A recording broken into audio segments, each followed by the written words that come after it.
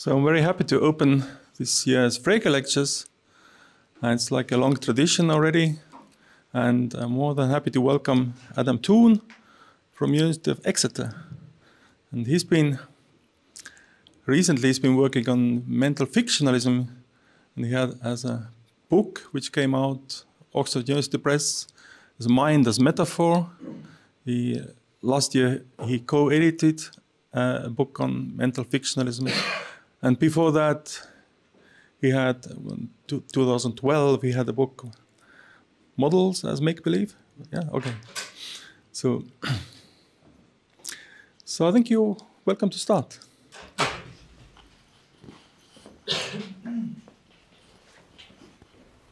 Thank you, uh, Bruno, and thank you very much um, for your kind invitation. I was very honoured to, to be invited to, um, to, to be here. It's a, a pleasure to be here and uh, to have a chance to, to, talk to you all about um, uh, the, the story of the mind, Cartesianism, behaviorism, and, um, and fictionalism. It's uh, an honour to be here, um, especially at the, the, moment. We don't, we don't really get snow in Exeter, where I'm uh, from, so uh, it's an experience to be here. And Bruno's already been uh, giving me important survival tips, like not to walk under meter-long icicles hanging from the tops of, of, buildings and so on. So I'm already learning a lot um, about, about, how to cope. I know my kids would be very jealous if they uh, saw all the, the, deep snow. We, do, we have uh, had a, a, little bit of snow a week ago in Exeter, but it just turns to slush straight away on the ground, and they so they get very excited, and then they get very disappointed when they see that it's not it's not going to come to much.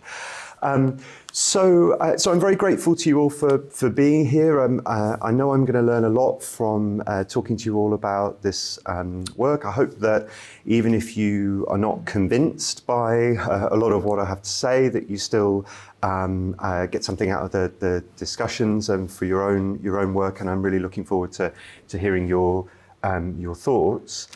Um, I wanted to just start by giving a, a, an overview of the lectures as a whole, of what I'd, what I'd like to try and do in the, um, over the next three days. Um, the, the, overall theme, I suppose, is a very general theme. The, the theme that I want to talk about is um, the, the nature of the mind. Um, and there are some questions, um, still quite, quite general questions that follow from that that I'm going to be touching on in the course of the, the six uh, lectures. So question of um, whether the mind exists, um, and if it does exist, in what in what form. Um, so the question of what is the mind? What should we uh, um, what should we say about the nature of the mind? Um, if indeed it does exist. Uh, a slightly strange question, which has attracted a lot of attention lately in philosophy of mind, um, particularly under the heading of 4E um, cognition, extended cognition, um, the question of where the mind is, which I'm going to say is a slightly strange question, and that if we um, think about why that's a strange question, we can help make some progress and talk about uh, the extended mind in particular. Um, and I'm going to touch on uh, some uh, related um, questions throughout the, um, the, lectures. So the question of what the relationship is between mind and language, um, what the relationship is between mind and, and world, um, and a, a, question that, of course, was very important for um, the British empiricists in particular, so Locke, Berkeley, and Hume. Uh, what are the limits of mind? We say something about the limits of human human understanding, and I'm going to come to that question um, in the in the final lecture. Um, and my title hints at three very uh, general ways of approaching those questions that I'm going to be talking about for um, uh, um, during the course of the lectures, but particularly in the first three um, lectures in particular. Um, one, uh, again, very, very general um, approach. I won't be using this term Cartesianism with a lot of historical accuracy, I'm afraid to say, but I kind of think that when you become as influential as Descartes, it's just a sign of how influential you are that people keep taking your name for all sorts of positions that you may not have, have signed up to. So, um, what I mean by Cartesianism is something quite general the view that, in some sense, the mind is an inner world. Um, and that's a, a very common view, I think, in in philosophy, but also in culture more generally. That you know, if you say to someone, um, if you ask them the slightly strange question, where is your mind? The temptation of a lot of us is to point um, here. Um, and, uh, and that view, as I'm going to say, takes lots of different forms. Perhaps um, a few hundred years ago, um, people uh, may have been more attracted to the idea that mind was something like um, spirit or it was a particular kind of substance. Nowadays, of course, lots of us um, uh, sort of very hard-nosed materialists and so are more likely to um, locate the mind in the brain, in a part of the physical world. Uh, nevertheless, there's, um, whether you are more of a dualist persuasion or materialist, um, it's very common to, to think of the mind as something like a, um, an inner world, and that's a view that I'm going to be um, grouping together under this fairly general heading of, of Cartesianism and uh, and I'll, I'll, be trying to give reasons um, to think that that's not the right approach to, to the mind, particularly in the, the area of thought, which I'm going to be talking about. Um, so that's, that's one very um, prominent current in, in thinking about the, the mind. Um, so prominent, in fact, that if you deny that there is such an inner world, you're often seen as simply denying the existence of, of mind. So when we talk about the existence of mind, that's, that's typically um, uh, what we might mean. Uh, of course, there have been notable attempts within um, philosophy, but also related disciplines like psychology, um, to try to get rid of that inner world, to think that it's um, problematic either for methodological reasons or for um, more purely philosophical reasons, and to try to get rid of it. And, and behaviorism, again, I'm using as quite a general term to um, uh, bring together lots of approaches that will say, in some sense, you need to get rid of that idea that the mind is an inner world um, and um, focus not on some inner realm, either in the brain or uh, something non physical, like um, uh, uh, mind stuff, um, but to focus on the outer world of behavior. Um, so we've got, if you like, um, two uh, sort of extreme poles that I'm going to be exploring. One, Cartesianism that takes the mind to be something hidden, something inner, and on the other hand, various versions of behaviorism that seek to um, get rid of that notion of the inner world, mind, to do without it, and to focus instead on behavior. And I'm going to pose, uh, propose what's um, fairly unfashionable politically nowadays, but in the 90s, third ways, so some sort of in-between um, centrist position was, uh, uh, was popular, um, which I'll be calling fictionalism. So, so roughly speaking, the idea here is going to be that, um, uh, that we do have this notion of mind as an inner world, um, but that it's a useful fiction. So on the one hand, Cartesianism is wrong to say that um, there is this inner world. Right? This inner world doesn't exist. But on the other hand, the behaviorist project of trying to do away with that notion of an inner world, to get rid of it, um, uh, um, is not tenable. So, so we have this kind of intermediate position says, yes, we have this notion of an inner world. Um, the mind, to put it loosely, um, is an inner world, um, but that inner world doesn't exist. It's a useful fiction.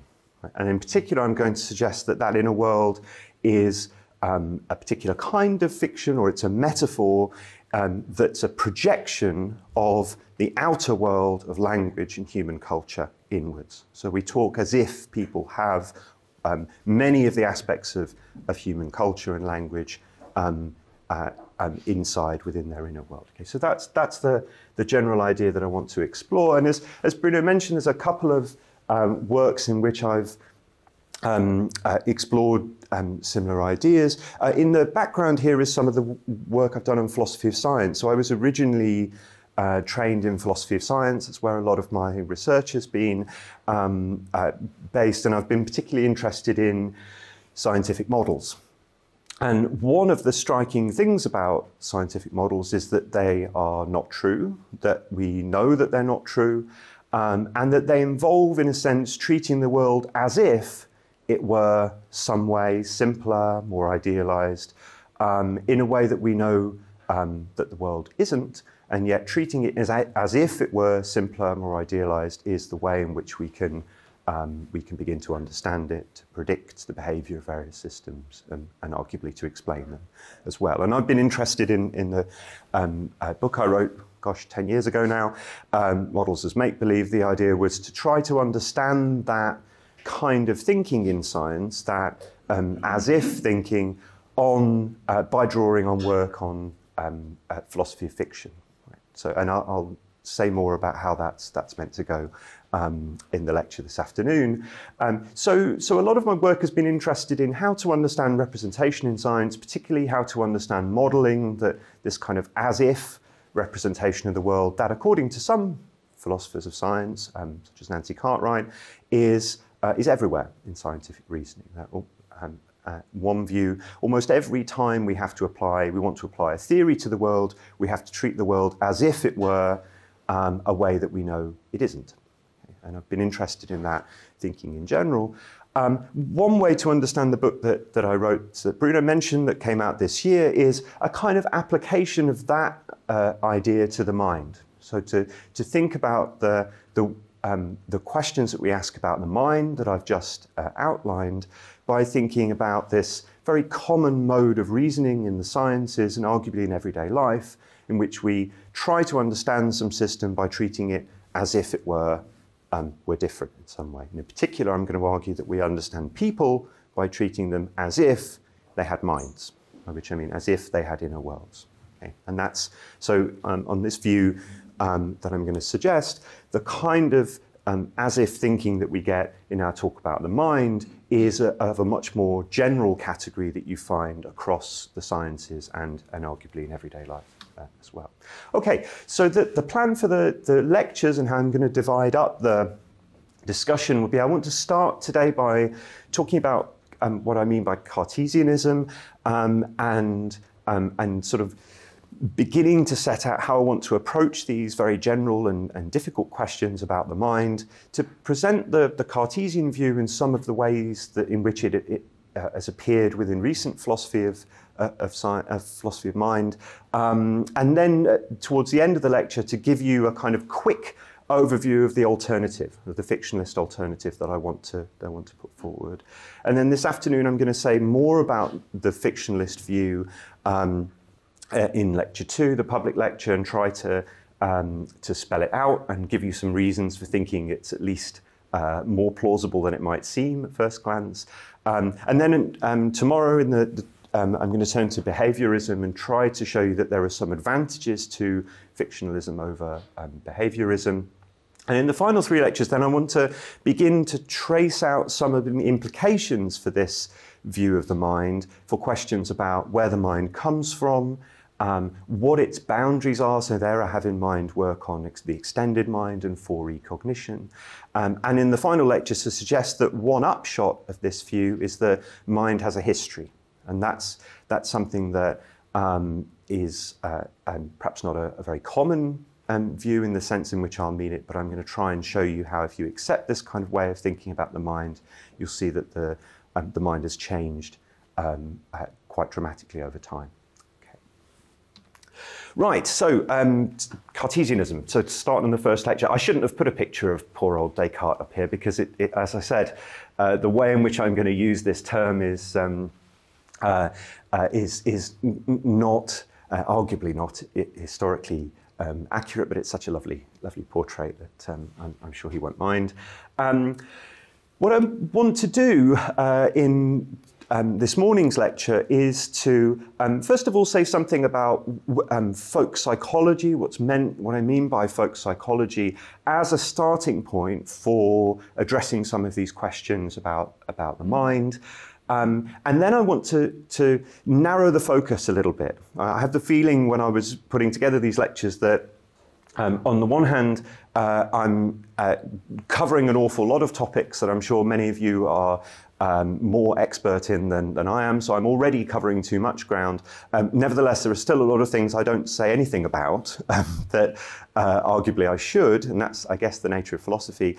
Um, so I want to and, and give a sense of which aspects of the mind I'm going to be focusing on, and that's thoughts, um, and then I'll talk about the Cartesian view and some of the forms that it takes. Uh, and then, as I said, towards the end of the lecture, um, try to give you a sense of my alternative and to look ahead to the next five lectures to indicate where there are some, hopefully, some promise in this view, but also problems and challenges that I'm going to have to, I'm going to have to try and address. Okay, so Um, here, are, here are some of the, the big questions that I mentioned at the start. You know, um, the nature of the mind, does the mind exist? What is the mind? Where is the mind? These are the sorts of questions that Ian Hacking at one point says, you, you mention questions like this and then the stomach grumbles and you start to wonder, how on earth you're going to begin to make progress. And so you have to sort of pick, of course, a, a, method, a starting point for, for trying to address these questions. And there are lots of different starting points you could, you could take.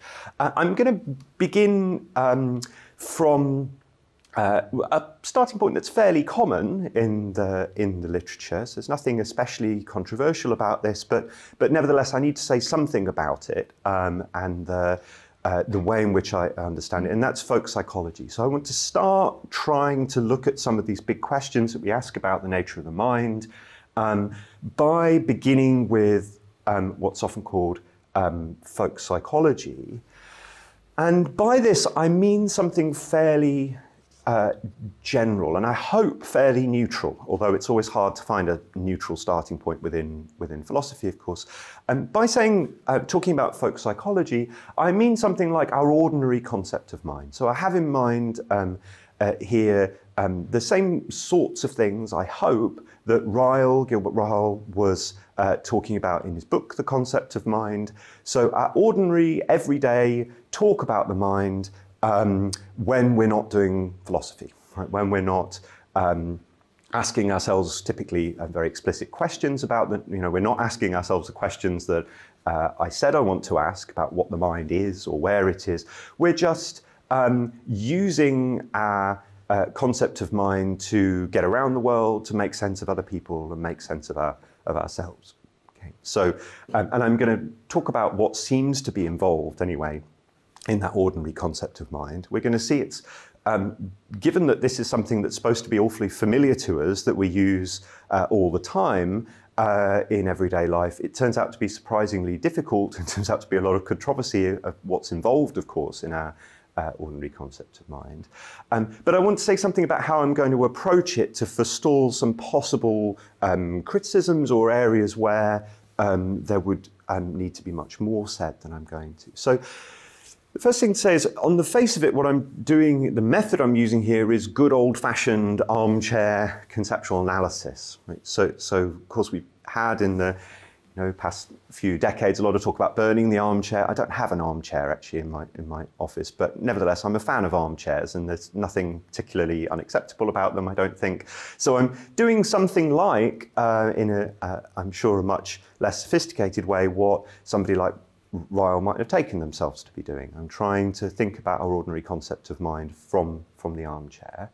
But there are some uh, assumptions that many of you will be familiar with that come with this term folk psychology, which I won't be adopting, and I wanted to just talk about some of those. So, so quite often when you hear this term folk psychology, there's some assumptions that quite naturally go along with that that I won't be making. So one has to do with it being a theory, another has to do with it being universal and um, something that's fixed over time. So I wanted to, to just uh, run quite quickly over these and we can return to these in the discussion. So sometimes when people use the term folk psychology, they um, uh, take that term to imply that what we're talking about is a theory. It's something like a rudimentary uh, um, scientific theory that the folk use um, and part and parcel of that, in some of the classic discussions at any rate, is the thought that um, it has a certain sort of structure. So it has, uh, as is often assumed, but is controversial within philosophy of science, but it's often assumed that scientific theories include um, universal generalizations, for example, um, uh, in, uh, laws of nature that are then connected to um, to the world by various principles. Um, and when people talk about folk psychology, they sometimes, um, in some classic discussions, have meant to commit to the idea that our ordinary talk about the mind has that sort of structure. There are some implicit um, generalizations or laws that we're making. Um, so that's a, a claim about structure that I won't be assuming. In fact, I'm going to give a much messier description of folk psychology than that. Um, and another thing that's sometimes meant by saying that folk psychology is a theory is to talk about the commitments that it involves.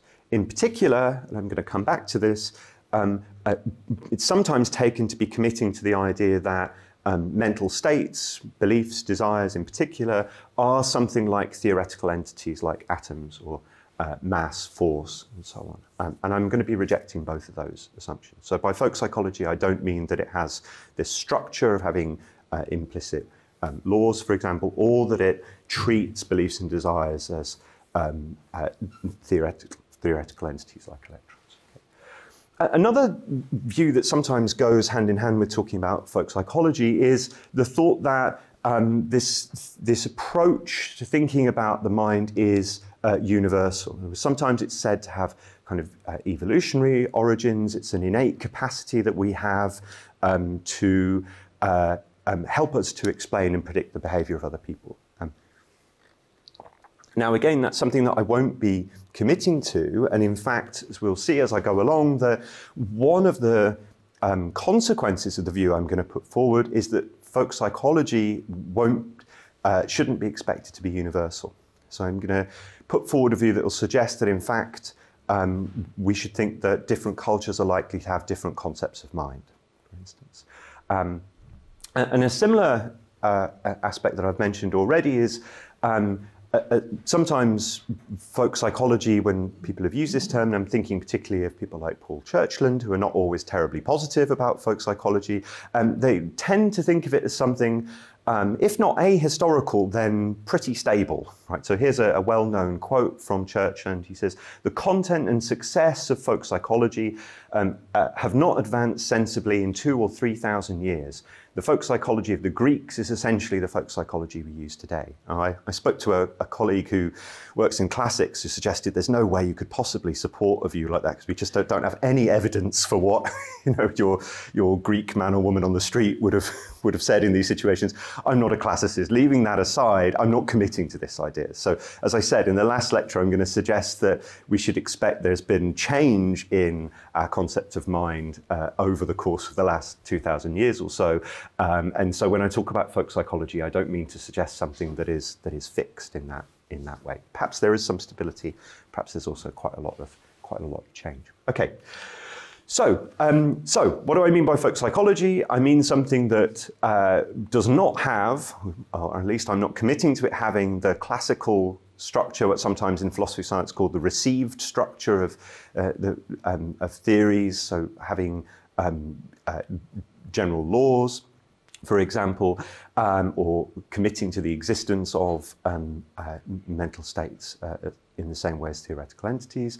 Uh, and I'm not assuming that this, uh, our understanding of mind is universal or that it's been fixed over time. And you might think, well, why bother then? Um, I mean, I've, I've, I've, asked some very general questions about the nature of mind, and now I've um, reduced my focus to something like our conception of mind as it exists, uh, and I say our with uh, the um, uh, implicit caveat that I mean uh, something like, um, well, I hope not just me in my philosophy room, but also people I talk to who are not philosophers uh, in my neck of the woods, but not much more than that. Right? So you might think, well, why, why bother? Right? Why, why um, start with this uh, concept of mind if you think it's um, something that's so uh, um, sort of restricted to uh, culturally and historically specific, um, there's a, a, kind of more defensive response there to say, well, where else should I begin? right? So, you know, I need to start somewhere. These questions are very difficult, um, and uh, I might as well start with um, at least what we have, which is a um, hopefully some sort of um, quite competent grasp of what other people think and want and uh, and so forth. I may as well start there, even if I end up revising some of the um, uh, commitments of folk psychology. And in fact, I am going to suggest that um, our ordinary talk about the mind is at least potentially misleading. Right? So starting here doesn't mean that we have to end here.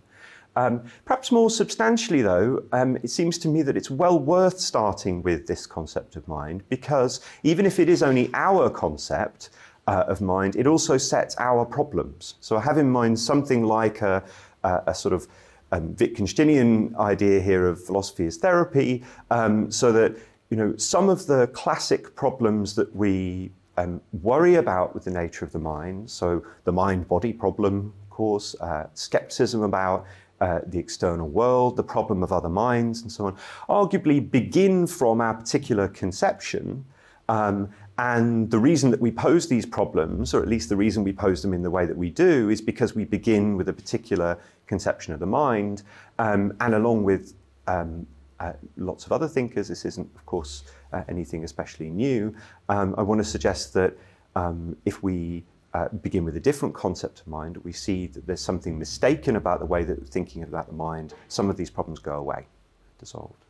So, so even if we're beginning something with something fairly um, culturally and historically specific, it could be that it's set up our particular problems of the mind, um, at least since Descartes, and then if we manage to um, undermine some of these assumptions, then perhaps those problems um, won't begin to seem so, so pressing. Now, um, suppose that we accept what I've, what I've said and, and, begin with ordinary talk about the mind. The first thing to notice, of course, especially if we're dropping the assumption that we have here something like a, um, a, a scientific theory or a rudimentary theory in the very um, clear way that that was uh, often understood in, in philosophy of science, um, uh, the starting point we should notice, of course, that it's a mixed bag, right? by which I mean it's not at all obvious that there is uh, a very simple structure to our ordinary talk about the mind. Um, and in particular, of course, um, uh, you can make a very rough and ready um, uh, list of all sorts of different um, states, acts, processes, all sorts of things that we that come under this um, this heading. Um, so we might think about uh, what I'll be calling thoughts, like beliefs and desires or intentions. We might think about sensations, so feeling of pain, uh, and you know uh, the perception I get when I look at the snowy street outside, have you. Um, of course, we talk about emotions and all sorts of different emotions of that, um, happiness, fear, joy, not, not, all of which are uh, obviously the same sorts of things. Uh, and then there are character traits, talking about someone being a confident person or a vain person, what have you. Um, so there's an awful lot, and I don't want to be assuming, and this is a theme that will come up throughout the lectures, I don't want to assume a great deal of um, a, a uniformity or neatness there that isn't there. Right? Um, and you might think, well, where should we focus then? And I'm going to focus on thoughts uh, in particular, um, by which I have in mind something like what philosophers would, would call um, propositional attitudes. So here's a, a list right? beliefs, desires, intentions, hopes, fears, decisions, judgments. Um, and I'll also mention a few uh, um, aspects of mind that, even if they're not themselves propositional attitudes, or in some cases, if it's debatable whether they are propositional attitudes, at least seem fairly closely related. So, concepts would be uh, an example, of course, that are um, according to many, something like constituents of, of propositional attitudes, um, reasoning, um, understanding. There's a, a, a, lively debate within recent epistemology and um, philosophy of science about the nature of understanding, whether it really boils down to propositional attitudes or not. So I won't be, I'll come back to understanding later on in the, the lectures. Mm. Nevertheless, this is the rough territory I, I want to be, um, to be focusing on. Why pick that? Well, um, partly because, rightly or wrongly, a lot of the um, debate within philosophy of mind, as you uh, many of you will know, have, has focused on um, proposition attitudes, particularly beliefs and desires. So they're often, it's often just said that the heart of folk psychology is um, the attribution of beliefs and desires, for instance. That may be, that may be wrong, um, but it's certainly structured a lot of the debate on the topic.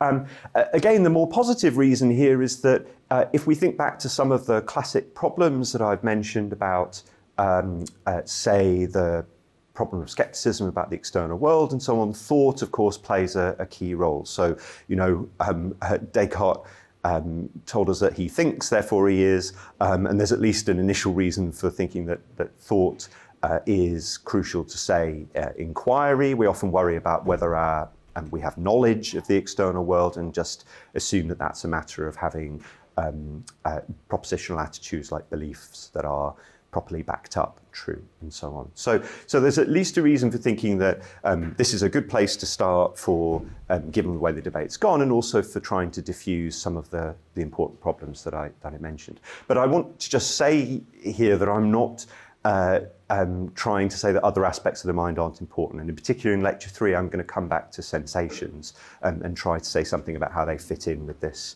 uh, the approach that I'm going to, going to put forward. Okay, so what do the folk think about thoughts? Um, I guess is the, the question now. Not, uh, say, not as easy a question as you might think. You might think, well, this is just a sort of easy starting point, and then all the philosophical worries will come after this once we just give a, an easy description of what we uh, say about thoughts. Um, uh, but it turns out to be, of course, a lot more difficult than that. Um, here's some reminders of um, what at least a lot of the tradition has said about thoughts. Um, so I got, um, thanks to Bruno's help, I got the coach, uh, the bus here from the airport yesterday. Um, and so uh, I had this uh, set of beliefs and desires. I believe the number um, 129 bus goes to, to Tartu, and I had the desire to get here so that I was here for for lectures, had at least those beliefs and desires, had a lot of worries about whether the bus stop I was standing at in the snow was the correct bus stop and so on, but I had at least these beliefs and desires. And if someone had wanted to, um, had been puzzled by why, for instance, I was standing at that particular bus stop uh, looking a bit um, uh, concerned and expectant at um, five past one yesterday when the bus should have been there but wasn't. Um, they could have offered this. Uh, they could have been asked, challenged to give an explanation. You know, why is Adam getting the bus number 129? Um, and you might have uh, remove the sense of puzzlement that they had by saying, well, you know, um, he thinks the 129 goes to Tartu and um, uh, uh, he wants to go there. Okay, so you might explain the pattern in my behavior, like me getting on the 129 bus when it arrives, by citing these particular beliefs and desires. You'd probably be more likely to cite this if I got on the wrong bus, if I got on the number 100, for instance, and someone said, Why is he getting on the number 100? And you said, Oh gosh, he thinks the 100 goes to Tartu, but it doesn't. Right? Then um, uh, that's more of a situation in which we, in everyday life, we'd be likely to um, to give explanations. As Ryle pointed out, we often give explanations when things start to go wrong. Um, nevertheless, this looks like one pattern of explanation that we, um, that we would uh, engage in everyday life. Um, he, now, uh, if you uh, had come to me half an hour earlier uh, and wondered as I was sitting there in the airport having my cup of coffee, what will he do next? You know, you've been really excited at what my next movements might be. You could, instead of make, giving an explanation, have offered a prediction. Um, well, uh, I think um, this is a, a, person who has the um, belief that number 129 goes to Tartu and wants to go to Tartu. And given that the number 129 is coming along in half an hour, I predict that in the next half an hour he'll stand up, put his coffee cup in the bin, and walk outside to the bus station. And your prediction would have turned out to be to be right. Okay, so. So the, the basic thought here, of course, is that um, in everyday life, we're constantly um, uh, making, giving explanations, offering predictions for what people will will do um, by mentioning what they think, what they want, what they need, and so on, um, and what they intend to do, what they plan to do. Um, and um, typically, we don't give it much thought. Right? Just do these things routinely. If someone said, You realize that you're operating with a folk concept of mind there, we probably uh, would have to stop for a moment and uh, um, realize we're talking to a philosopher or a psychologist. Right? Okay.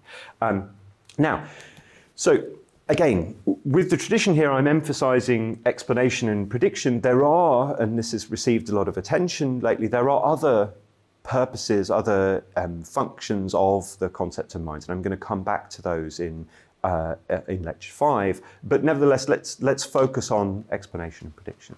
Now, there are there are three at least apparent features that that talk about the mind has that are, are very um, much emphasise. So this particular aspect to talk about the mind that focuses on thoughts, um, uh, that it has that thoughts have content, right? That um, my belief is about, uh, as philosophers say, about the bus and Tartu.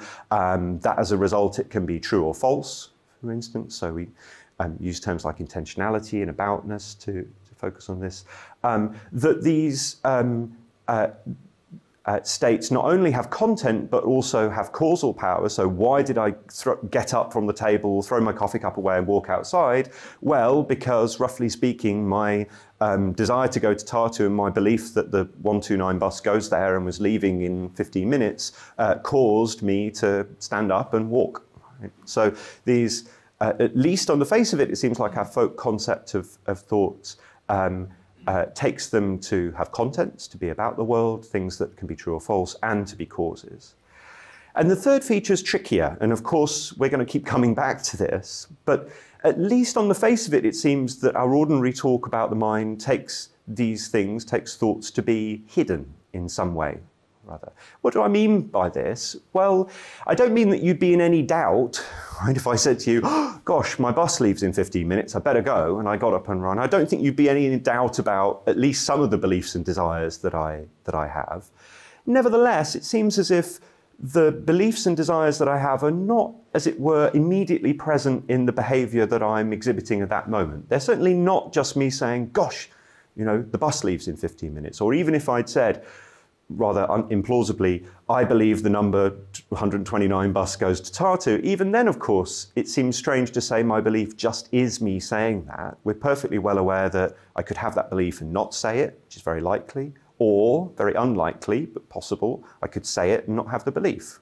I, I might have um, had a very difficult two hour conversation with you in the cafe and you tell me you're going to Tartu as well, and I might be tempted to lie and tell you that the bus 100 goes to Tartu just so that we can go our own separate ways and I don't have to spend two and a half hours uh, on the coach talking to you. I, I, wouldn't do that sort of thing, but people do lie.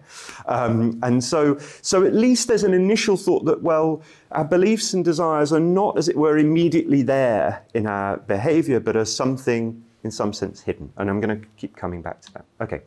Now, so the key question then is how should you understand this practice? We're doing this all the time. We're saying Adam's going there because he wants to go to Tartu. Adam's going to that bus stop because he thinks the number 129 goes to Tartu, what have you. Um, how are we supposed to understand that? What exactly are we doing when we say these things about people? Um, what makes the things we say true or false? And as I've said, there's a, a very common view about what's happening here that um, I'm going to label um, uh, in not historically accurate way as Cartesianism, right? which says, well, that talk about the mind is something like a theory of an inner world, a theory of inner machinery in particular. Um, now, as I've said, this is uh, uh, a few times, this is not uh, historically accurate, of course, in the way in which um, I'm presenting this is rather different to um, the way in which lots of early modern thinkers would talk about this. So I'm particular, I'm talking a lot about a kind of third person perspective of explanation and prediction, whereas it's really introspection, of course, that figures um, prominently in, um, uh, in a lot of early modern uh, thinkers. Um, eliminativism, which I'm going to talk about, as a, uh, arguably in my categorization counts as a kind of Cartesianism, begins with the same starting point that the folk are talking about an inner world, um, but eliminativism is something very, very different from what um, uh, many people would normally um, uh, describe as Cartesianism. Um, and perhaps more substantively, it's, it's important to say that when I say Cartesianism, I don't mean the same thing as dualism. And this can, these two views can come apart in two different ways.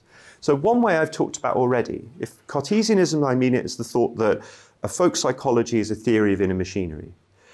And a lot of people, for instance, in cognitive science, would accept that view, but of course they wouldn't be dualists. They would think that our inner machinery is really, um, in some sense, physical. Perhaps it's the brain. On the other hand, perhaps more interestingly, there can be views that you might want to describe as dualist, but which don't count as Cartesian in the way I'm talking about it. So some ancient theories of mind, like Plato's, might take the mind to be something um, not of the, of the material world, not of the physical world, but yet not think of it as something hidden and inner, and certainly not as inner machinery.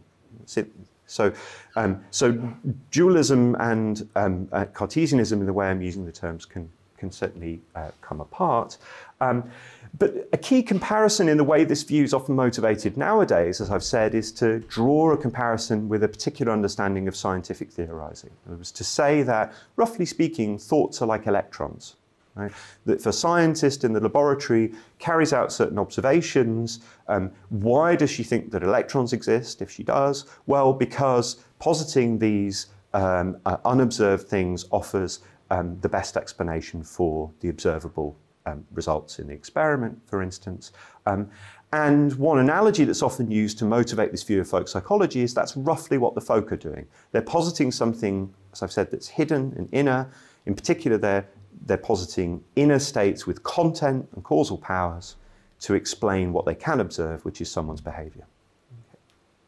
Um, now, if you accept that starting point, then there's a very natural question that follows. If you think that what the folk are doing is theorizing about inner machinery, they're offering a kind of theory of an inner world and, a mechanism that drives behavior, then a very natural question is is that theory true or false? Right. And roughly speaking, um, uh, there are people that go either way. Um, you can, a classic um, uh, representation or uh, version of the view that, um, uh, that the theory of true, of course, is uh, representationalism, and particularly uh, in um, nowadays we would associate this with Jerry Fodor. I think that there really are these inner states with content that drive our behavior. And what John Haugeland called good old fashioned artificial intelligence, of course, is one way of trying to, um, to make sense of that, to give a kind of materialist vindication of folk psychology. On the other hand, you could be much more um, pessimistic and think that in fact the folk will turn out to be wrong and that beliefs and desires won't exist, right? will turn out not to exist.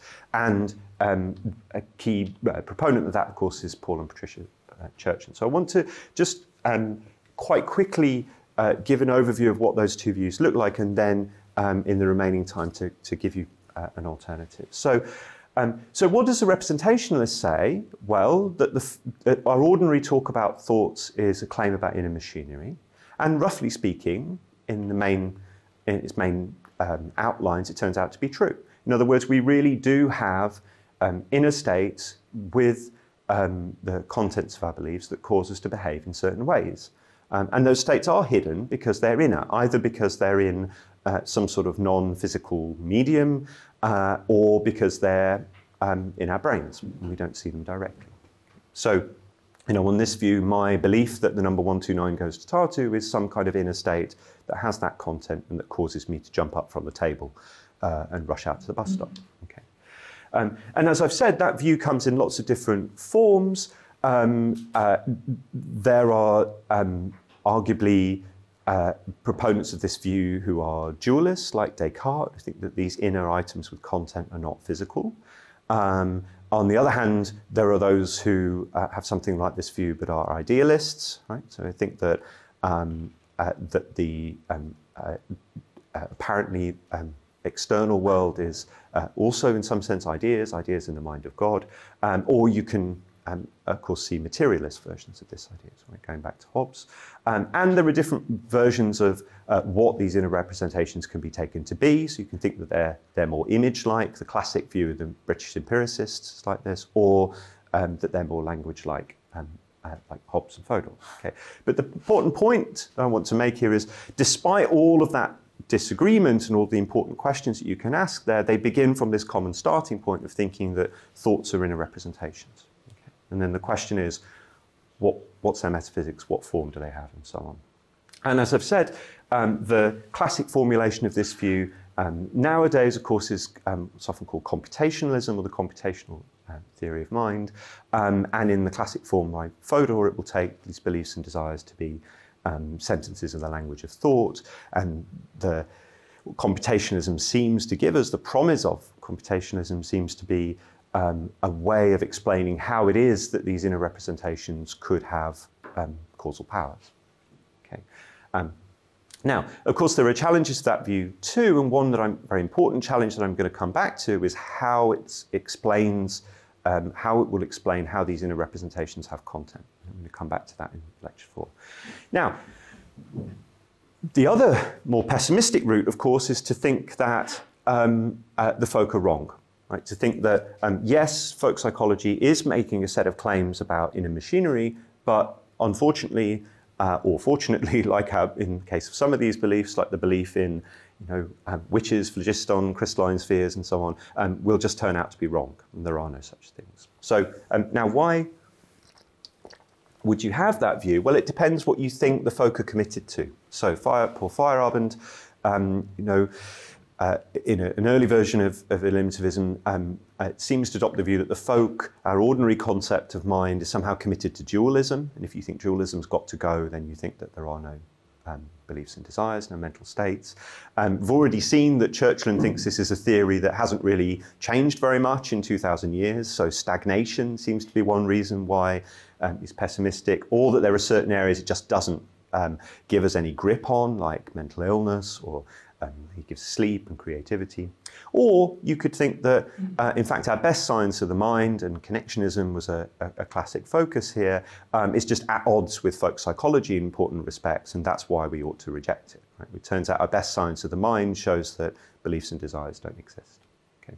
Now, for the, the time remaining, I want to introduce a, an alternative view, um, which, as I've said, lies in some sense um, uh, to one side of, of uh, um, a Cartesianism, um, which is to say, um, folk psychology, in fact, is not a theory of inner machinery. So to reject that starting point that leads both to representationalism and to eliminativism. Um, and I want to offer a particular version of that view that says that folk psychology is metaphorical. And I'm going to try and spell that out by drawing on a particular theory of metaphor in terms of pretense. So now I should say here that um, although uh, mental fictionalism isn't uh, um, perhaps the best known view on the philosophical uh, landscape. Um, this is certainly the way that I'm going to present it, certainly not the only way to present it. So Bruno kindly mentioned this, this volume um, on mental fictionalism that I uh, edited uh, last year with Tamas Demeter here and Ted Parent, um, which, uh, and you can find um, some, depending how you count, perhaps two or three proponents of mental fictionalism. Um, uh, so there are different ways of, of cashing it out. One, uh, Ted Parent and Meg Wallace have at least uh, suggested the idea of prefix fictionalism, even if perhaps they don't want to commit to it in all respects. Uh, Tamas has his own um, version of this that's rather different, called effective storyism. Um, and uh, as I mentioned at a previous conference in Budapest, uh, Tamas is also on record as saying that I'm not a proper mental fictionalist. So if Tamas had his way, there'd just be one, and I'd be out of the uh, the camp. So we, have already got those those schisms going. Um, but at any rate, this is to say there are different ways of cashing out this this idea. The way in which I want to, to try to explain it is to draw on a particular theory of uh, of fiction and of metaphor in particular by the philosopher Kendall Walton. And it's Walton's work that I've used in um, my book on scientific models, for instance, that takes representational art, fiction, and also at least some cases of metaphor and figurative language to involve um, pretense within what he calls games of make believe. So I'm going to try to to give you in the, the remaining time today an outline of this view and um, just a quick comparison to um, some of the views that I've talked about already. So here's a, a, a classic case of make-believe, of playing games. So here's, um, this is, I think, Teddy Roosevelt running off into the, to the woods with his bear. Um, uh, and um, so he's playing this game in the woods uh, in which tree stumps are taken to be bears. Right? So, and Walton gives this terminology to describe games like this. He describes tree stumps as props. Um, the um, rules that Teddy Roosevelt and the other children playing this game uh, establish as um, principles of generation. So these are the sort of rules of the game. They tell you that, for instance, tree stumps are to be imagined as bears, that they count as bears in this this game rather than uh, spaceships or what have you. Um, and together, these props, the position of these tree stumps, and this rule that these tree stumps count as bears, generate what Walton calls fictional truths. Right? They prescribe to imagine certain things, like that if there are three tree stumps in the clearing, there are three bears in the clearing. Now, the important point for us, of course, is that children they never stand still, but particularly they, they don't stand still quietly while they're playing games like this. Instead, they participate. So um, they do things like scream and run away from a tree stump.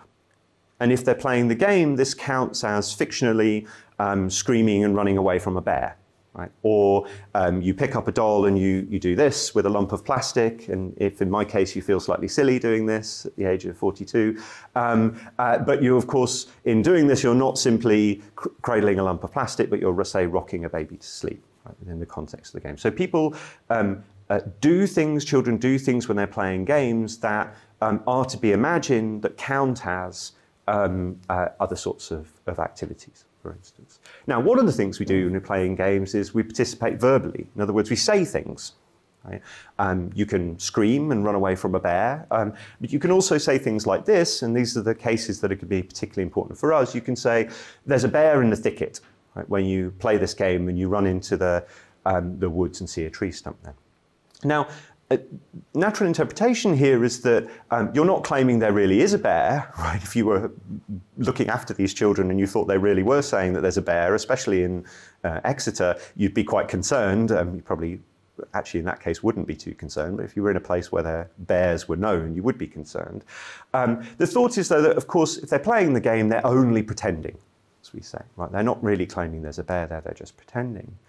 But, and here's a, a, key idea, the thought is by pretending in the way that they do in this game, they're indicating right, that that's the right way to pretend. And if they said, um, uh, there are no bears here, it's clear, right, that would be the wrong way to pretend, right, if there is a tree stump. So in other words, the thought here is that often, even though we're pretending, we are making a genuine assertion, right, by showing that this is the right way to pretend. In other words, we're claiming that our props are in such a state, um, in, certain, in certain state S, right, um, such that this pretense is appropriate. In other words, in this claim, we're saying there's a stump there in the thicket. And if a child ran into the, this thicket and said, ah, a bear, and then another one said, no, no, no, this is a bush, right? there's no bear here, right? Um, uh, the child would have been wrong. So in other words, there's a, a certain kind of objectivity involved in these games such that given the state of the props and given the rules of the game, there are some things you're supposed to imagine, some things that you aren't. Right? So if there's a stump that's hidden under uh, in a bush or what have you, it's still fictional that there's a bear there, even if nobody happens to notice it. Okay, people can be wrong. Now, one of Walton's um, key ideas here that I'm going to draw upon is the thought that this kind of participation in make believe is important for explaining at least some instances of metaphor and, fi and uh, figurative language. Okay, so here's a, a, key quote that I'll just read out. Where in Italy is the town of Crotone? I ask. You explain it's on the arch of the Italian boot. See the thundercloud over there, the big angry face near the horizon. It's headed this way. Speak of the saddle of a mountain, the shoulder of a highway.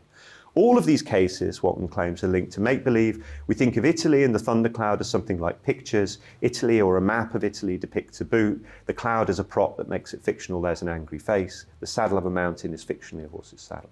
But our interest in these cases is not in the make believe itself, and it's not for the sake of make believe that we regard these things as props. Make believe is useful, he says, in these cases for articulating, remembering, and communicating facts about the props, about the geography of Italy, and so on. Okay. So the thought here is the analysis of what we're doing when we say something like Crotone's on the arch of the Italian boot, right, uh, goes in roughly the same way as what the children do when they say, ah, there's a bear in the thicket. Right? We're, we're um, making use of a particular kind of pretense. Probably we're not quite as invested in it as the children are. Um, what are we doing? Well, we're participating, we're pretending in a particular game, which is roughly the Italy as a boot game, right? rather than the bears in the woods game. Um, but just as with the child in the woods, by pretending in the way that we do, we indicate that's the right way to pretend. Right? And in doing that, we make an assertion. Right? In other words, um, we say that the props are in such a state as such that, right? Uh, which state? Well, the state such that this is the right way to pretend. Um, and put simply, we're saying Crotone is in this particular position on the Italian coastline.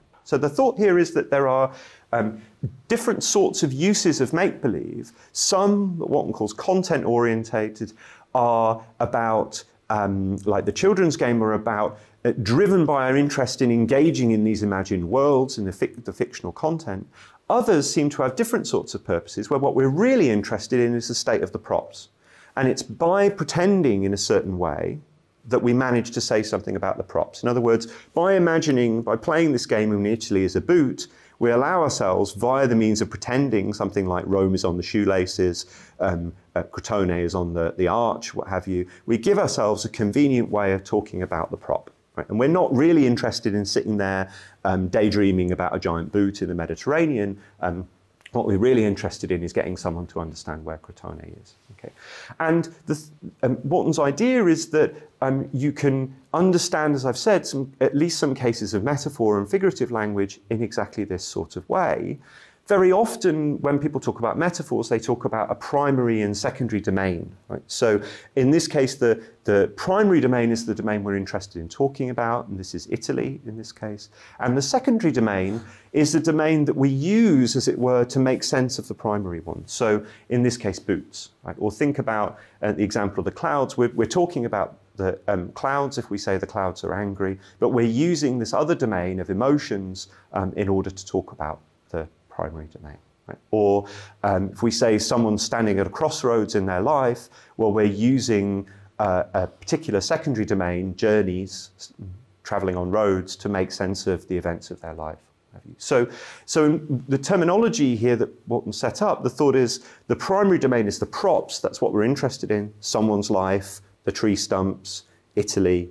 But we make sense of them by switching, as it were, into this um, particular game in which we imagine those props to generate a certain content, and that's our secondary domain. So the events in someone's life generate these fictional truths. So if they're facing an important decision, well, in the life as a journey game, that generates the truth that say they're standing at a crossroads. Okay. Now, um, my aim in the lectures is going to be to um, uh, try to apply that view to talk about the mind, um, and I'm going to um, uh, try to motivate this by um, drawing on a particular um, myth, a very um, uh, well-known myth about the origin of uh, mental states by um, philosopher uh, Wilfrid Sellars. So Sellars says, well, how did we get talk about the mind? Well, imagine a, he calls a, a, a, a, Rylean language that's spoken by this mythical society. So imagine that there's this uh, mythical society that um, don't have the concept of mind. How could they come up with a concept like that? And the thought is, well, along comes this visionary theorist called Jones, right, who um, comes up with a new theory of the inner. Right? Jones comes up with um, uh, a new theory that says, well, we can explain and predict the way that people behave by um, saying that they have these inner states right, with um, content, and his model for that is verbal behavior. So people say things in this society that have content, and now Jones's great innovation is to say, well, we can explain and predict people's behavior if they have those things, if we um, take them to have those things inside their head. So this is one way of motivating the representationalist view that thoughts are something like theoretical entities. Mm-hmm. And my alternative myth here is to say, well, take the same story, take Jones and this mythical society. But suppose that what Jones introduces is not um, a new theory of an inner realm, but a useful metaphor. Right? He's like the first person to say it's useful to treat Italy as a boot. Um, he says, look, um, a good way to describe people is as if they had these inner states with content that we can use um, to make sense of their behavior. So, so the, the kind of core idea that I'm going to keep coming back to here is there aren't there are no um, uh, th there aren't these inner states. These are useful fictions, as it were. This is a useful metaphor for talking about, um, about people's um, behavior in roughly the same sort of way that talking about life as a journey is a useful way of talking about um, the events in someone's life. Okay. And later I'm going to come back to the thought that um, there are all sorts of different sources for this metaphor within um, uh, um, language and culture more generally. So in the um, later lectures, I'm going to um, move beyond just talking about speech as a, a, metaphor here and talk about all sorts of other examples of different kinds of speech and different materials. Okay. So here's just to, um, uh, to finish here, here's the uh, um, way in which this view will understand talk about the mind. Right? So think about this example. One of the ways, stretching back uh, at, at, least 2,000 years or so, one of the ways in which we talk about the mind um, by using an external um, piece of material culture, as it were, is to talk about memory as if it were a kind of inner written record, an inner, inner notebook, inner wax tablet, what have you. Um, now, um, that way of talking has a, a, um, a, say, a long, a long history. Um, uh, what are the primary and secondary domains? Well, the primary domain is someone's behavior. The fact that, say, when uh, Bruno tells me to get a particular bus from the airport, uh, a day later I'm able to say to myself, oh yeah, I need to get the bus from the airport. Right? So there's a certain aspect of my, um, of my behavior there that we're trying to make sense of. And the thought I want to develop is that, the, that we should understand that kind of talk about memory, standing beliefs, as they're often called, um, as metaphorical, based on this metaphor of external written records like notebooks. Right? So we're, the prop in this case is people and the way they're behaving, and we're talking about them uh, in roughly the same way that we talk about Italy as if it were a boot, we're talking about people as if they had these inner records, these inner notebooks where they can write down useful information and then look it up again um, later on. Um, so um, now, and usually, I think, that game is prop orientated. In other words, we're not normally interested in the content, we're not normally interested in things like, well, what are these representations and how do they interact with each other and what format? We're just interested in making sense of whether I'll get to the bus on time or not. Um, and it's really only in philosophy uh, and other areas, perhaps like psychology, that we start to uh, daydream about these inner representations, as it were, in the same way that we might daydream about a giant boot. Um, and I want to argue that a lot of the problems that we get into, um, particularly with Cartesianism, um, stem from those. So, um, so to remind ourselves, if we say on this view something like Ruth's at a crossroads, um, and we're speaking metaphorically, we're not claiming that she's really standing at a road junction, we're just indicating correctly how to pretend in a particular game. And in doing that, we make an assertion about Ruth's life, uh, namely that she faces an important decision. And the thought here is that this is the sort of thing that's going on in psychology. So I say, you know, Adam believes the number 129 goes to Tartu.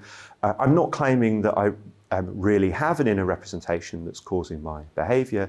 I'm just indicating how to pretend correctly in the memory as a notebook game. But by indicating how to pretend correctly, I do make an assertion.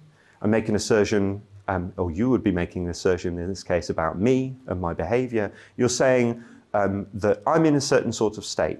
What state? Well, the state such that your pretense is correct. Right. Now, what I'm going to come back to, particularly in lecture three, is the thought that this is rather different to the case of um, Italy uh, and um, the life as a journey case in that there's no easy way to paraphrase what I'm saying in terms of my behavior. Right? I can just tell you that Crotone is at these GPS coordinates, and I seem to have a way of saying what I wanted to say without the metaphor of Italy as a boot. Um, uh, in this case, I want to say there isn't uh, an easy literal paraphrase of what I'm saying. But roughly speaking, you'll say I behave as if I had an inner representation with that content that's causing my behavior.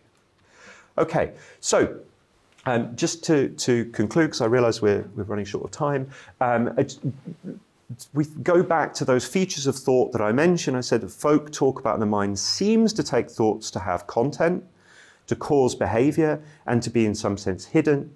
And that Cartesianism is a way of making sense of that by saying there really are these inner states that do have causal powers, and they're hidden, um, perhaps because they're states of the of the brain. And the view that I've tried to just put on the table at the moment is to say, well, let's suppose that folk psychology is engaging in a certain kind of metaphor which takes those thoughts to be useful fictions. And what I'm going to try to do is to show how that gives a way of reinterpreting this um, aspects of folk psychology, that it seems to take thoughts to have content, have causal powers, and to be hidden, and offer a way of reinterpreting that in later, um, later lectures.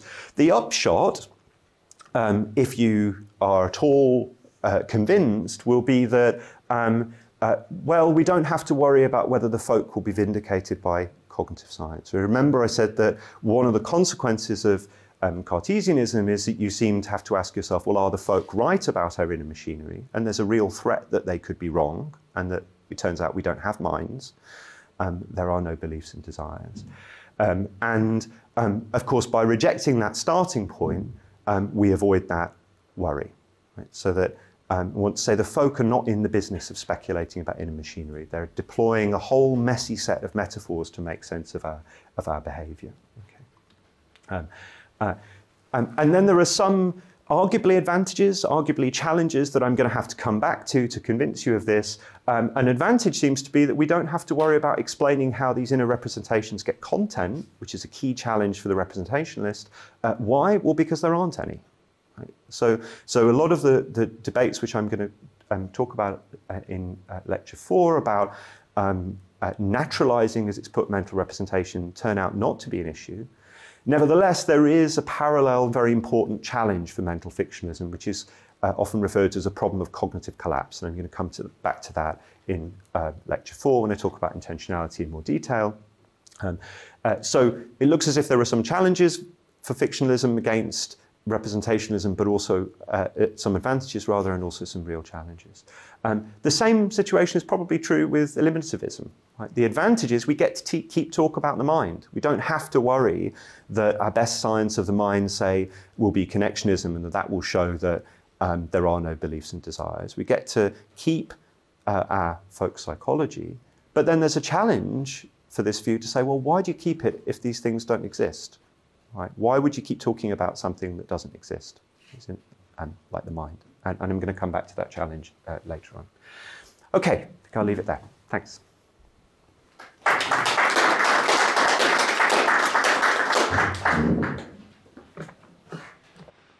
So before we go on with questions, maybe just a warning. As you can see, this thing is being recorded, and the recording is later made public.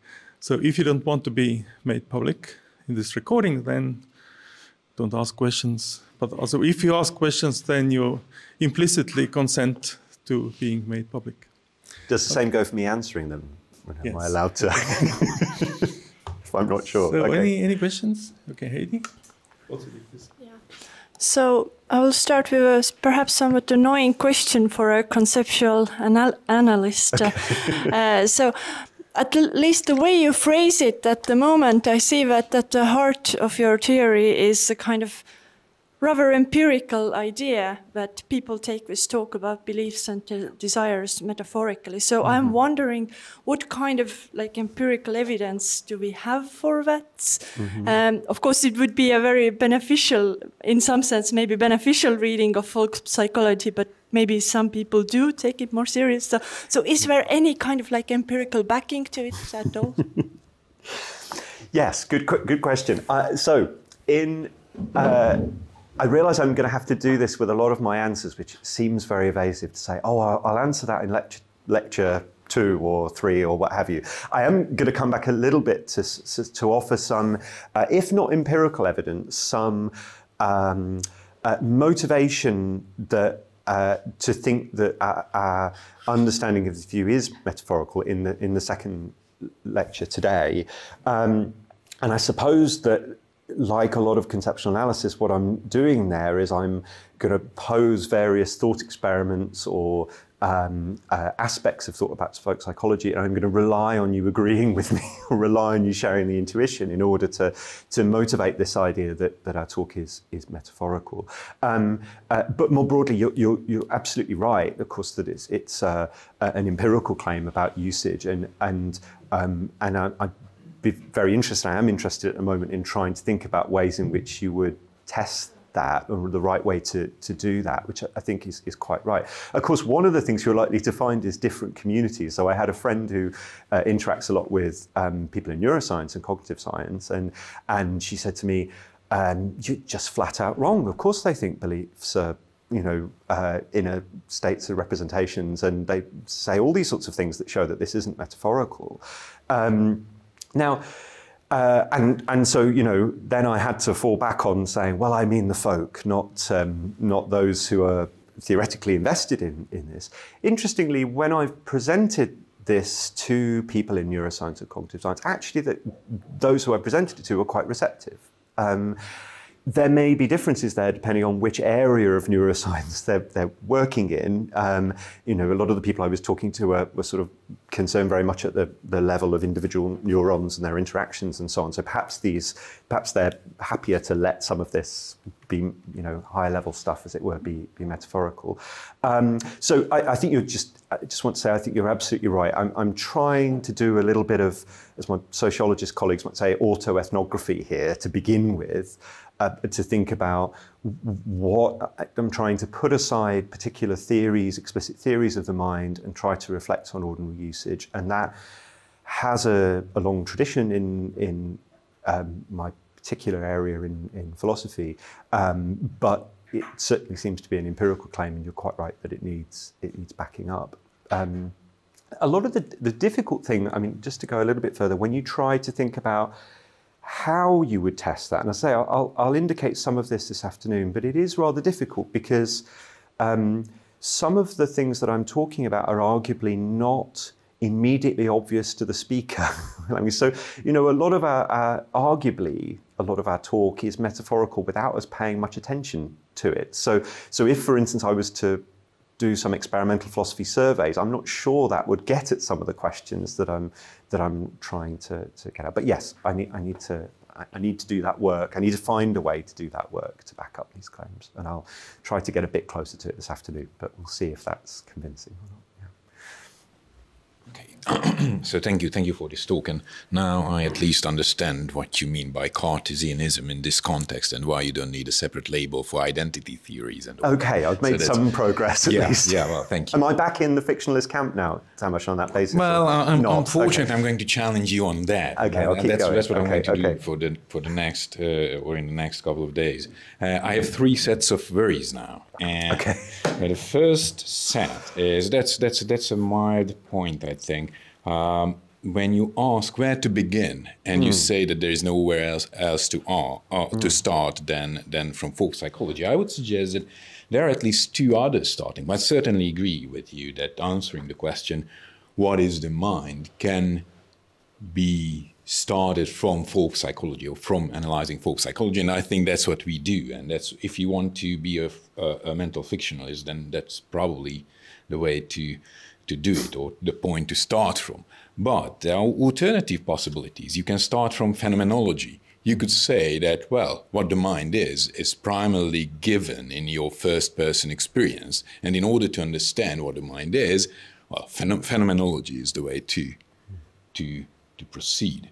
Uh, and there is a third point of view, which is which I like in a way, uh, is to start from, and, and, that goes back to one of your first slides when you have this series of questions, first asking uh, whether the mind ex exists or not, and what the mind is. Now, if you if you say uh, if you start from pure ontological commitment, saying that the mind exists that it is a natural kind, and only empirical inquiry can reveal what it is, what the nature of this uh, natural kind is, then you are committed to a, well, I would say scientific conception of the mind, and you just start from a uh, empty realism. That's how I called this stance. Uh, empty. Was empty realism. Okay. Uh, okay. It's you know it's uh, like uh, what Spinoza said about God, that it's uh, every determination is negation. So you don't want to, don't want to. There is there is something. Uh, uh, there is something that's that's the mental, what that's the mind. And now let's let's start an empirical, or begin an empirical inquiry into hmm. into this. Actually, that's that's something. Well, William Lycan suggests suggests that somewhere, saying that belief is an information carrying natural kind and we can identify it with it via its contingent properties, but we, we haven't haven't got to the point where we can we can say what this thing is. So uh, I think there are alternative possibilities, but that's I don't think that's lethal to what you were saying now. Uh, a quick question. Um, I don't know if you want to respond to. I can. If it, or shall shall I shall I give all my worries at once and then go, flood go ahead. you with? Let me scribble furiously at okay, all of them and okay. then try and go back. Okay, so you, I've you, got you, three days, haven't I? So. Okay. okay. Uh, I agree with you that folk psychology is not a theory, but you haven't told us what it is then. Mm-hmm. Uh, how would you or what? I would have a, a suggestions, and I would say that it's uh, it can be understood as a system of conventions, uh, very much like those in language or musical composition. Uh, I, but probably that would take us to a, uh, to to an entirely different route uh, yeah. Uh, than than what you want to want to walk on. still in this ballpark. Um, I don't agree. Why, why, should we focus on thoughts, propositional attitudes, concepts, and all Well, your slide, which was certainly before slide 14, because that's when I started to write down the numbers, and so, so as to identify what you are saying. Uh, uh, I, I, don't I, don't think you have very strong arguments for focusing on on, on, on proposition attitudes and ignoring all the, all the rest. Although it certainly facilitates your case, uh, so makes your makes your uh, your, your makes makes advancing your position easier in a way. Um, and the way it makes it easier, it comes through in slide 14 and 15, where you have this boss example, which is I don't think you need folk psychology to understand that situation. Mm. It's a very routine procedure that you can, of course, rationalize or over intellectualize uh, uh, by using folk psychology. But that's I don't think we, we deploy folk psychological conceptual machinery there, even not in the process and not even in understanding it, because there is nothing to understand there. So there is no, I would say, disturbance in the force that mm-hmm. uh, that should be related to. You know, that's not that's not. Well, that's okay. I think. Uh, okay, that was my second set of worries, and the third set, which comes or relates to slide twenty-five with principles of generation. That's where we, I th- where we, uh, I think, differ the most. If you have them, if you if you say that there are principles of generation uh, reaching from behavior to interpretation, or principles of generation to rely on to get to an interpretation from behavioral evidence, then I, I don't think you can be a proper fictionalist. And you can, you can be a constructive empiricist or an instrumentalist uh, uh, because you still keep folk psychology within this. Uh, in the sphere of explanation and prediction. And if you do, if, if you want to do that, then you, well, at most can be an instrumentalist or, or, or, or a constructive empiricist. And this comes very uh, clearly through in, there's a newly revised Stanford Encyclopedia article on belief uh, mm-hmm. by uh, Schwitz, Schwitz, Schwitz, Schwitzgebel. Eric Schwitzgebel, okay. okay who is kind enough to cite our collection, this is mm-hmm. this one, the whole collection, saying that instrumentalism and fictionalism are not incompatible. However, fictionalism emphasizes the resemblance between belief attribution and fictional storytelling, while instrumentalism emphasizes the resemblance to devising a predictively successful scientific instrumental model.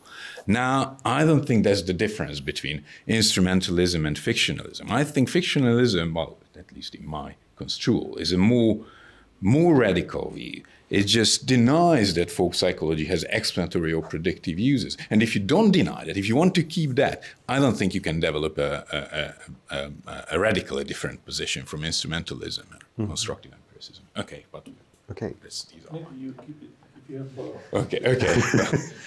I, I, I, think it's probably quite likely that Tamas will have follow-ups because I've got a lot to a lot to get through. Um, let me let me try and take them in in, in, yeah. in, order. And I have the feeling that there's a lot. I mean, I know I won't convince you, but also that there's a lot we'll have to come back to over yeah. the next few days. Yeah, yeah. Um, so so the where to begin question. Um, uh, so you mentioned a, a couple of alternatives. Um, the the first one, phenomenology and, and first person experience. Um, now, right, so, so one thing I'm going to say um, in um, uh, later lectures is that uh, I think that um, uh, that there is something revealed in first person experience, so sensations. You know, we have grumblings in our tummies or other sorts of sensations. Um, uh, I don't think that um, beliefs and desires in particular show up there. Um, so part of what I'm going to say is that I think that there are some things to which we have that first person uh, experiential access, but not the whole of the mind. That, that the mind um, as an inner world that includes things like beliefs and desires is a much bigger commitment than that. Um, so that the inference that's sometimes made, say, in um, early modern thinkers to go from introspection to the whole of the mind as an inner world is, is one that I'm going to want to, to challenge. So, and even in the case of something like sensations, I mean, I suppose this would go hand in hand with something like Sellars's rejection of the myth of the, the given. Right? I'm going to say that even in the case of sensations, there's an interpretive step to say um, what those sensations are, whether they are associated with nervousness or hunger or what have you. And that, that's very familiar from other thinkers like Ryle. So, so I'm not denying that there are some things that show up in our first person experience, but I think it's we can too quickly move from that um, from those things that do to other aspects of mind, and in particular to the whole Cartesian um, view, which is what I want to want to reject. So that's now now. Um, so, so that's that's one thing to say about phenomenology, but I, I will have to, to come to come back to that.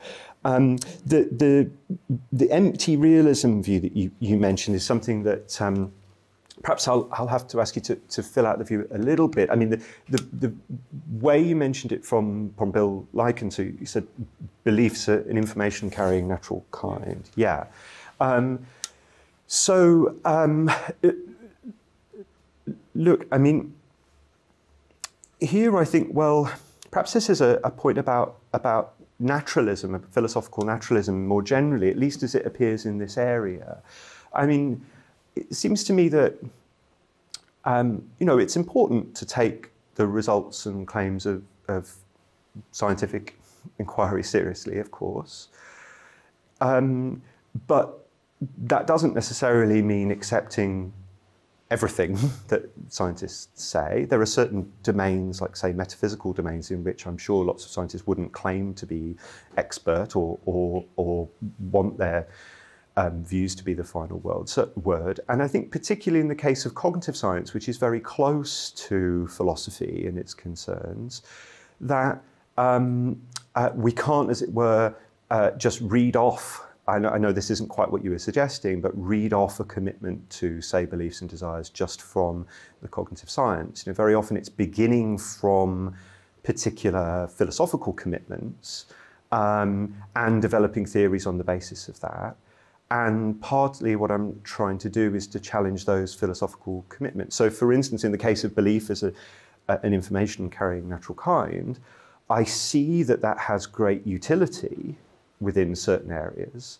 Um, but I guess one of the claims of fictionalists is going to be to say you can have that utility without the commitment. Um, and that's familiar from all sorts of areas, but that will bring us to instrumentalism. I know. Yeah, yeah. Just, just a quick. Uh, may, maybe I just wanted to say that folk psychology may not be, uh, may not be constitutive in understanding what the mind is. Mm. Uh, especially if you say that it's not universal, ahistorical, that uh, oh, historical, sorry, mm. which I I agree with that very much. Mm. But then uh, the question, what is the mind, may not be answered through the concepts of of, of folk psychology, and I think that's. That has that, that this kind of stance has affinities to the to, to, to, to mental fictionalism, at least the yes. way I, I conceive it.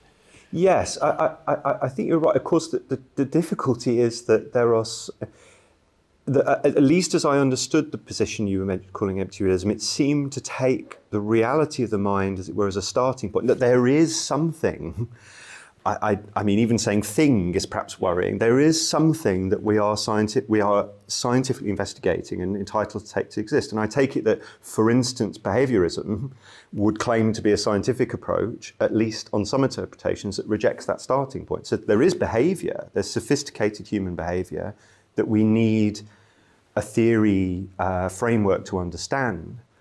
But at least if you're, say, Skinner, you think that the mind is a sort of um, particular kind of construct that um, has got to go. And I suppose Churchland would fit roughly into that category too. If we take the mind to include a commitment to, say, beliefs and desires, uh, well, that's something that does not figure in our best. Yeah, science. but as I take it, this right. empty kind of realism is uh, sort of, well, uh, uh logically prior to to any kind of inquiry into what we, if you don't if you mm, don't mm, think that mm. something exists irrespective of your knowledge of it, of it then you wouldn't inquire into it right phlogiston including in order to mm. start an inquiry into what phlogiston is you yeah. need to take a commitment to an ontological commitment that this thing exists that's well some kind of commitment yes. it doesn't have to be a full full-blown acceptance but some kind of accept some kind of mm, commitment. Mm. Okay. Yeah, I, well, let's come back to. I mean, I have yeah. the feeling that at least as you say that now, it sounds at odds with natural. I mean, it sounds.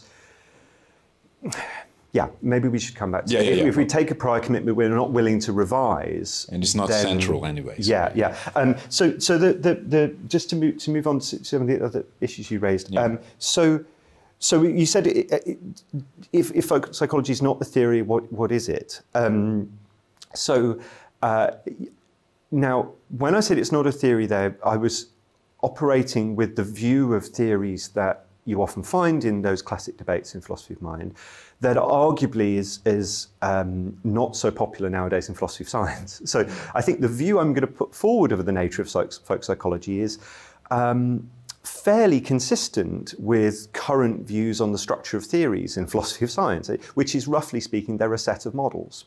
Right? So a lot of people within philosophy of science now would say, well, what they often call the received view of theories, that they are um, sets of universal generalizations with um, bridge laws or something that connects those generalizations to the to the world um, should go in favor of a, a, theory that says, well, say Newtonian mechanics is a collection of models like the simple harmonic oscillator or um, you know the damped oscillator or what have you, free fall that.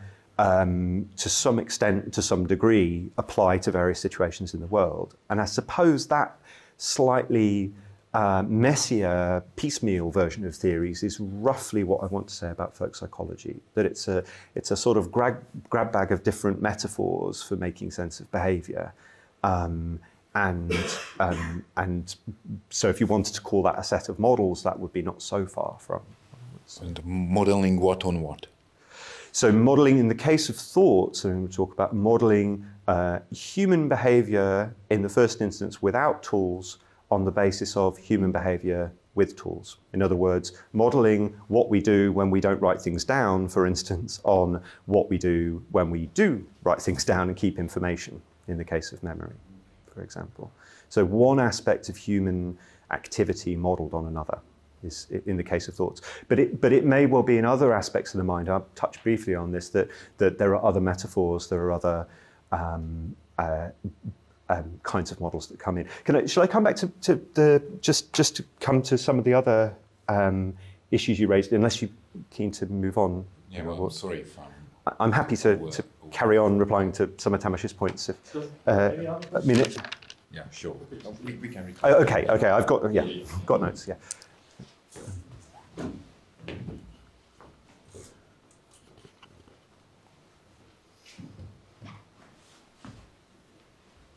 asking right now. so thanks a lot for the presentation. It was really interesting.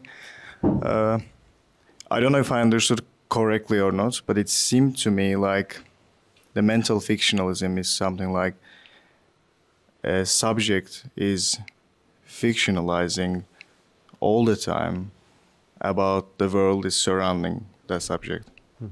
In that case, um, how that can subject can um, differentiate some fictions from other fictions or how they can be certain kind of hierarchy of fictions. What I'm trying to say is this if a subject is fictionalizing about the external world, mm. but also reading works of fiction, Anna Karenina, let's say, mm-hmm. then writing some things, creating some additional fictional work, um, how can a person understand which one is more real or not? Mm-hmm. I'm asking this because we know that um, even if you are a fictionalist, you will think that okay, the external world is more real or more important or more serious than the fiction that you are actually reading or writing or something like that.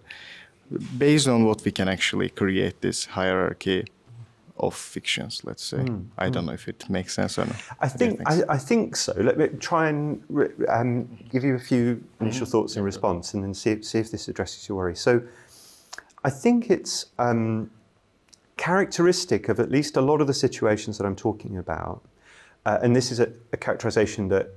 that an early, early fictionist Hans Vaihinger puts and Kwame Appiah has, has, has picked up on this too. That, that as it were, we're aware of the truth, um, and we're aware that the fiction that we're operating with departs from the truth. Um, so uh, now, so in other words, we're, we're in, in, if we think about the case of scientific models, we're aware very often that there is friction really in the system. We may not be able to measure it exactly, um, but we just think that for the purposes that we're interested in, we can safely ignore it for instance. Uh, or we know that molecules are not tiny billiard balls, but also we know that if we tried to add in all the gory detail that we think is there, we wouldn't be able to apply a theory. And so, so, so in a sense, the fictionist view is not, as it were, a skeptical position, at least it's understood like that. It's a, it, it's so. For instance, a lot of what I would say about fictions in modelling and scientific modelling would be no surprise to scientists. You know, they're, they're constantly, when constructing a model, perfectly well aware of which which aspects are false but useful in various in various ways. Um, so so that's one. Now one complication to that, which may be part of your your worry, is that, um, and it perhaps goes back to the first question about empirical evidence for this, that um, uh, in the case of many uh, fictionalist positions, the thought is that um, we're often not attending to their literal truth most of the time. And it's only when we're pushed by somebody who's extremely literal, like a philosopher, and they say, Do you really mean this? Do you really mean that we sort of are forced to come out of our ordinary game and, and, and pay attention to it? And perhaps as a result of that, the answers we give there are more controversial as to, you know, if someone hasn't really uh, you know, asked you uh, whether you think numbers exist, for instance, and whether that's part of your normal counting, or it takes a moment for you to adjust and think, well, yes, what, what, what am I trying, what am I committed to there or, or not? Um, but so, um, but that's so. In the case of for fiction, that you mentioned, Anna Karenina, I mean, the the thought here is, well, there's a, a kind of rough parallel it, at least as I understand the view, that says, well, scientific models very often they ask us to imagine the world in a certain way. Some of what they their content, what they ask us to imagine, is true. Um, you know, there really is a ball rolling down the and there really is a slope. Some of what they ask us to imagine is false. Say that there's no friction, and the competent user of those models has got to be um, uh, able to navigate those differences. But, but it's quite, quite right to say that part and parcel of that is we can make mistakes. So there's a, a lovely quote that I, I, mentioned in a previous talk um, that uh, said, oh, well, there was a, a, a, dunce in a, Victorian chemistry class who was asked what are atoms, and he said, "Oh, they're square blocks of wood invented by Dr. Dalton." Right. So, the, and and there are more serious worries that lots of people had about imagining, in this case, molecules to be little solid balls that that you can go wrong. Um, some of the ways you go wrong are fruitful, some of them are not. Um, so. I, I suppose the answer to that question is I suppose there's no general way of going wrong there. Um, but it's a matter of sort of competent practice within the particular areas that you're you're interested in, holding what's true and what's fictional um, in mind. Yeah, but we may have to come back to. yes, definitely. Yeah. Okay. I think we have to stop. We have a time here. Time is up. Let's thank Adam. Thank you.